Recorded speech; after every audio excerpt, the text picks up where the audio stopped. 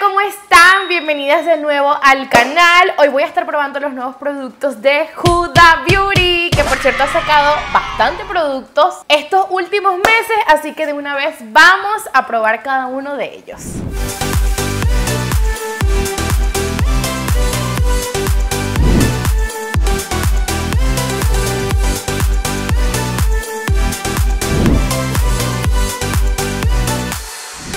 Cosas que me encanta de Huda es que cada vez que manda una pequeña colección como que va incluyendo bolsitos de portacosmetiqueros que por cierto aquí me faltan bolsitos, pero estos son todos los que he venido reuniendo. Aunque este último mes estos han sido los tres paquetes que me han llegado de la marca y no los he abierto, ni probado, ni nada por el estilo, así que vamos a ver qué tal funcionan cada uno de ellos. Huda Beauty es una marca que me ha gustado mucho, tiene excelente pigmentación. Son productos que si eres amante del maquillaje, evidentemente habrás escuchado alguna vez de por lo menos uno de ellos. El más reciente que me acaba de llegar es esta que es su nueva paleta, que por cierto hoy fui a Sephora y me dijeron que llegaba el viernes, así que Quizás cuando suba este video sea el día en que publiquen por fin esta paleta y que llegue a los Sephora.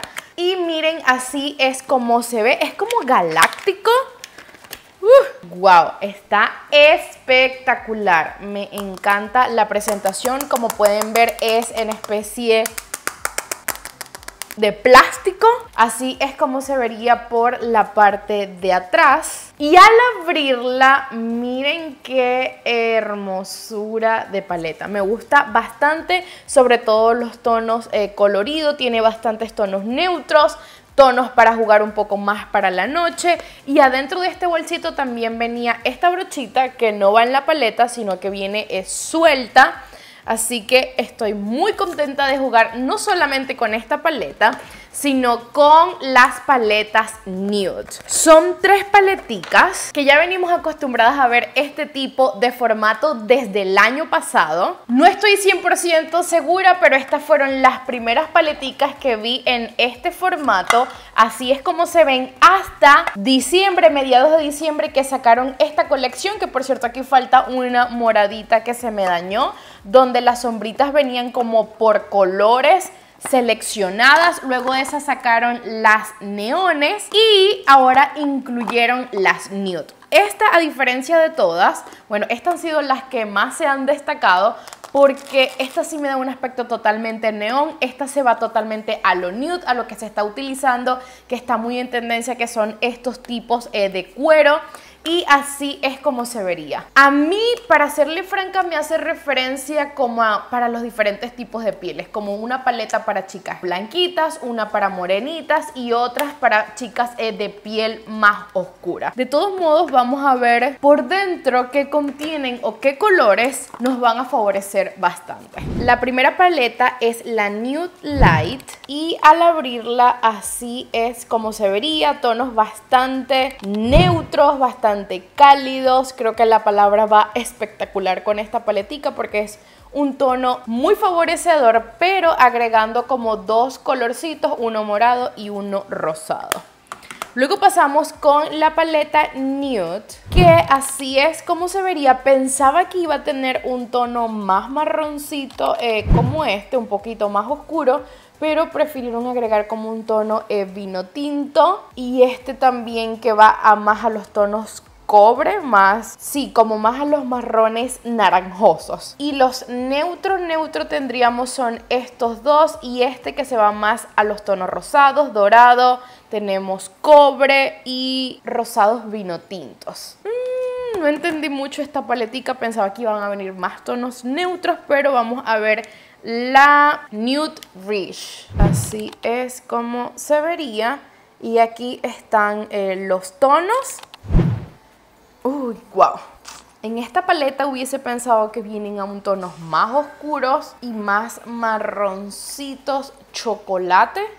Pero no, chicas, vamos a ver qué tal pinta esta paleta. De verdad, no sé, esperaba como que más tonos neutros, más para jugar con estos tipos eh, de colores, pero vamos a ver qué tal pigmentan cada uno de ellos. Las paletas están lindas, pero esperaba más tonos neutros. Voy a estar utilizando la medium y voy a pasar a aplicar este primer... ¡Wow! Vamos a, de verdad que no tiene casi nada de polvito, pero igual le quité el exceso de sombra. Lo voy a aplicar justamente aquí en la cuenca de mi ojo y si está bastante lindo. Ya ahí se difuminó muy bien, pero si lo aplicas así, dando toquecitos, aún se centra aún más el color. Está súper lindo este tono. Ahora lo que voy a hacer es aplicar este que es un poco más oscuro. El exceso y con la misma brochita lo voy a aplicar justamente en la V externa y lo que quede del producto lo voy a llevar hacia el centro. Pero como pueden ver, no se va precisamente a los tonos neutros, sino que más tirando a los vino tinto, a los naranjitas. A mí estos tonos me gustan bastante, pero por si alguna tiene duda de que iba a ser una paleta totalmente neutra de marrones, de tonos eh, fríos, pues no chicas. Es bastante fácil de difuminar y de aplicar cualquier color. Ahora lo que voy a hacer es aplicar este vino tinto justamente en la V externa así es como se vería. Ahora voy a aplicar los tonos eh, con brillitos, para eso me voy a ir con el dorado, me encantan los tonos dorados y más a nosotras que nos quedan súper bien. Así, wow, esto se ve espectacular.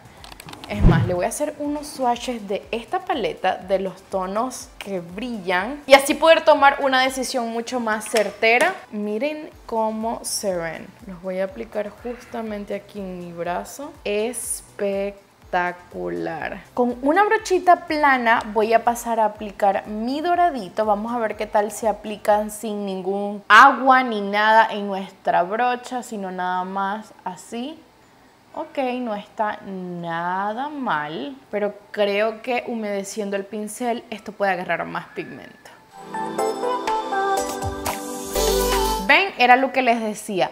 Cuando humedecen la brochita como que esto se forma especie de un gel con la brocha y es mucho más fácil de aplicarlo. Sí, es precisamente como esos que estamos acostumbrados a ver de la marca de Stila. Wow, me encanta porque puedes aplicarlo como topper o también lo puedes aplicar así tipo gel con una brocha húmeda y va a funcionar excelente sin necesidad de marcar la cuenca ni nada.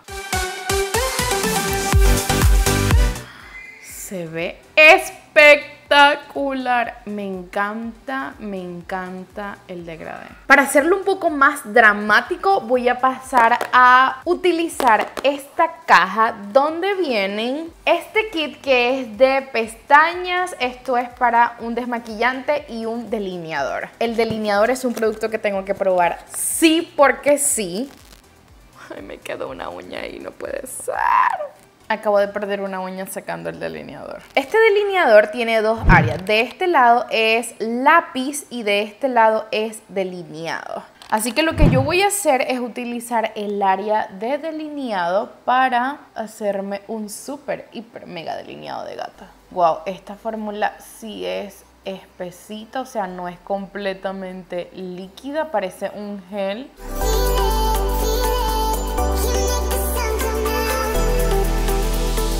Que sí le puedo decir es muy fácil de deslizar este delineado, pero es bastante cremoso, es espeso, aún no se ha secado, se puede ver ahí completamente mojado. Espero que seque en mate, pero me encantó, o sea, me gustó mucho, mucho, mucho. Creo que se van a ver unos ojos de gatos espectaculares. Y en la línea del agua voy a utilizar el lápiz negro. Wow, súper fácil de aplicar y bastante intenso. Me encanta cómo se me ve el ojo. También voy a pasar a probar estas pestañas postizas y lo que voy a hacer del otro lado es probar su nueva paleta para ver qué look nos sale. Son las número 23 y se llama Legend, Legiti, o no sé cómo se diga, cómo se mueve, son unas pestañas bastante dramáticas, son completamente mi estilo. Se ven espectaculares. ¡Wow!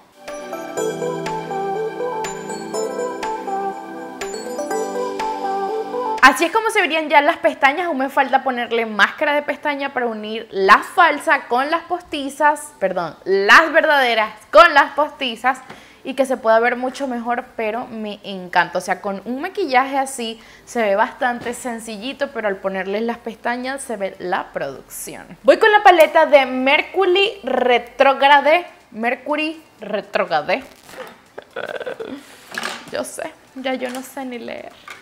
Y estos son los colores que tenemos para jugar. El primero que voy a estar aplicando va a ser este de Crash. Es bastante neutro, pero creo que va a ser un buen color de transición. No se siente polvosita, así que lo voy a estar aplicando.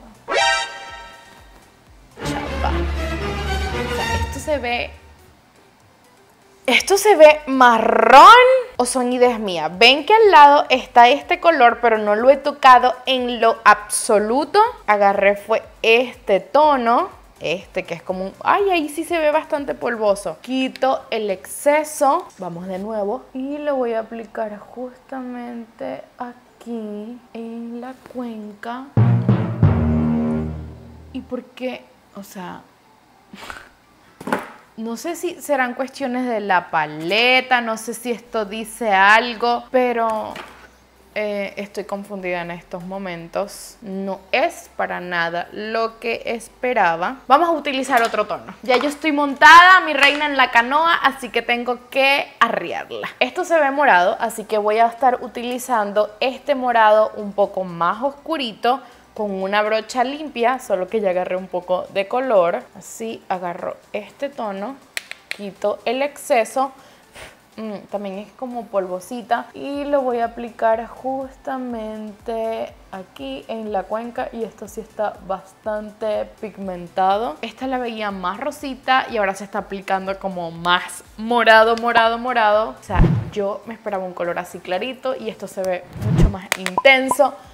No sé qué pasa con esta paleta, pero no sé si ustedes sabían el concepto ese de Mercurio retrógrado cuando todo te sale mal, porque estamos en Mercurio eh, retrocediendo. No sé si esta paleta tenga algo que ver con eso, de que los colores te van a estar cambiando, de que no van a ser los tonos eh, que tú crees. Creo que eso se trata Mercurio en retroceso. Voy a utilizar otra brochita limpia y voy a estar aplicando este tono eh, vino tinto. No quería hacer lo mismo que el otro lado o sea utilizar tonos muy parecidos pero bueno voy a agarrar este vino tinto y lo voy a centrar justamente aquí en la V externa y esperemos que este tono no cambie mucho de color. Lo voy a centrar justamente aquí y empiezo a dar movimientos circulares.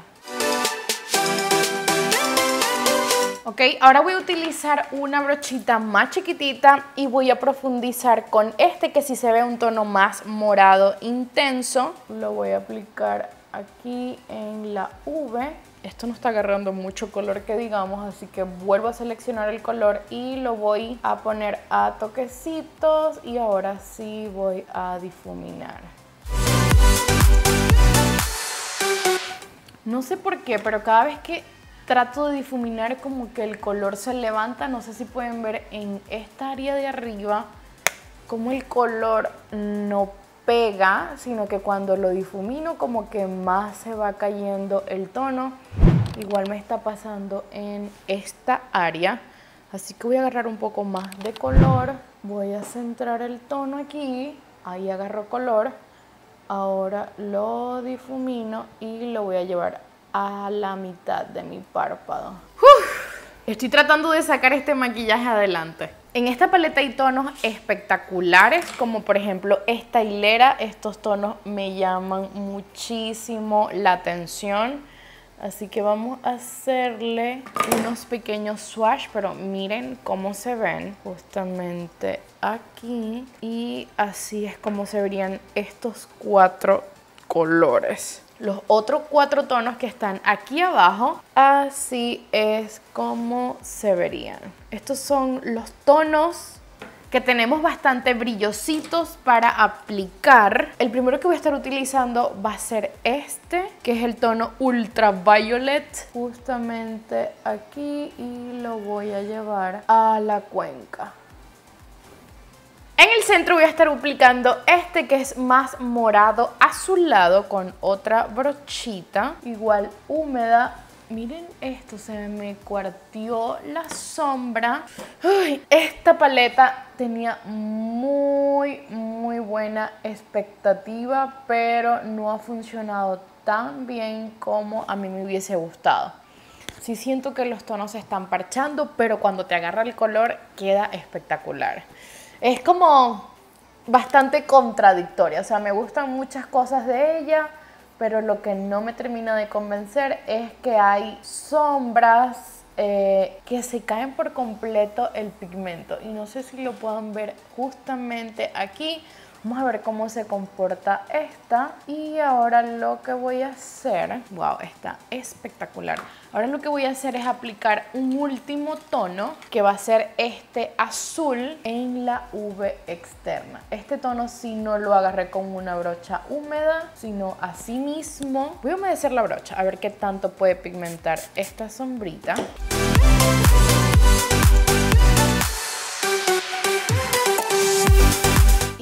Así es como se vería el degradé en nuestros ojos. Creo que también se está cuarteando la sombra justamente aquí porque puedo ver una línea y no entiendo la razón, de verdad que no. Esta sí funcionó perfectamente bien y como ven no se ve para nada cuarteada, pero esta no sé qué sucede chicas, pero no me ha funcionado para nada, nada bien. Ya sabemos que las pestañas están espectaculares, así que lo que voy a hacer es dejar que esto se asiente por completo. Voy a pasar a utilizar eh, sus labiales que son en barra para ver cómo se van comportando las sombras. Estos son los nuevos labiales eh, que me mandaron, de la cual soy bastante fanática de ellos porque la colección anterior era mate pero no te dejaba los labios resecos y eso es algo bastante bueno, sobre todo las personas que tienen los labios muy resecos. Este es el tradicional y miren lo hermoso hermoso de estos labiales. Si ustedes aún no consiguen un labial mate, pero que no les deje sumamente reseco, les recomiendo que prueben uno de estos. Voy a terminar este tutorial. A la final sí voy a aplicar eh, unas pestañas postizas porque he esperado alrededor de 3 minutos más o menos y viendo el teléfono, bajando la cabeza, o sea, teniendo movimiento en el párpado a ver si esto se sigue cuarteando y lo único que noto es que como que se están terminando de unir las sombras brillantes. Sigo viendo falta de color, no sé por qué, cuando lo apliqué se veía bastante pigmentado. Y créanme que yo he utilizado varias sombras y no me había pasado algo parecido. Mm, así que me sorprende mucho. Así entonces como se terminarían de ver eh, los productos que utilicé. Uno que me encantó, sí porque sí fue este delineador. Yo tengo dos delineadores favoritos, uno es de la marca de NYX, el otro es de Essence y creo que este va a ser mi tercer delineador favorito. Me gustó porque fue bastante fácil de delinear, al ser en especie como de gel queda, o sea, se siente ahí en el ojo, no siento que se vaya a batir. Eso es algo que tendría que probar, pero me gusta bastante. Hasta los momentos me gusta. Es bastante negro, muy fácil, perfecto. Las sombritas nude también me gustaron muchísimo. Ya saben lo que opino de ella, se difuminó bastante bien. Pero la paleta que me quedó me dejó así como que... Uh, fue la de Mercurius Retrogrado. De verdad no sé qué pasó con esa paleta, si ustedes la van a comprar o mejor les digo que vean reseñas de otras personas a ver si les funcionó igual que a mí. No sé si sea cuestión de mi paleta de sombra. Chicas, la verdad no sé qué pasó con esta paleta, pero bueno, los colores están bastante lindos. Estos tres me gustaron mucho, voy a seguir probando pero los tonos para hacer las transiciones no sé qué sucedió, hasta este punto se ve morado.